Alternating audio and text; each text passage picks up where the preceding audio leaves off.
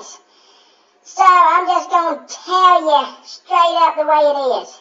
Here, I'm going to go ahead and start my own uh, Rooster Man Wild Kingdom or whatever, cause it seems like the wildlife has been attracted to the Rooster Man as of late. Now, first off, Rooster Man about got ate by a bear the other day. Now, I'm gonna tell you what happened to him the other night. It all started out when Rooster Man forgot something in his truck. So Rooster Man goes outside to get something out of his truck, and it was dark at night time. Rooster Man heard something over in the bushes rustling around. So Rooster Man says, Halt! Who goes there?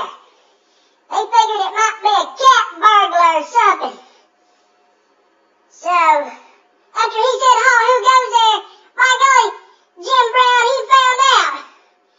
He sudden smelled something. Good Lord have mercy, it was a polecat. I'm talking Pepe Le Pew. Woo!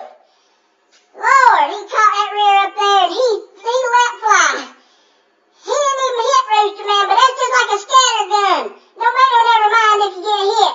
If you're just in the general area, you're man down, man down. Woo! Rooster Man take off running through there together. Have to wear this mask here. Cause he can't even stand the smell himself right now. Anyway, you watch out for them skunks out there, polecats.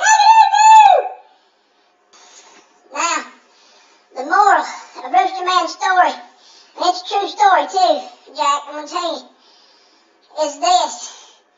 You hear rustling around in your bushes or the woods, you better identify what it is before you yell halt who goes there. Cause it could be a Pepe Le Pew pole kitty. And if it is, it's just like Rooster Man said before. You don't have to be no direct hit. It's like a scatter gun. Just get in the general area and man down, man down, man down. Whew! Listen up now, Rooster Man's telling you, cause it's, it's good, vital, important information. You all have a good day out there.